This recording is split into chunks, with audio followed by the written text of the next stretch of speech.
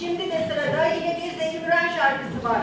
Bu yağmur, ah bu yağmur seni bana getirsin. Solistimiz Nihan Kahraman korumuzla birlikte seslendiriyorlar.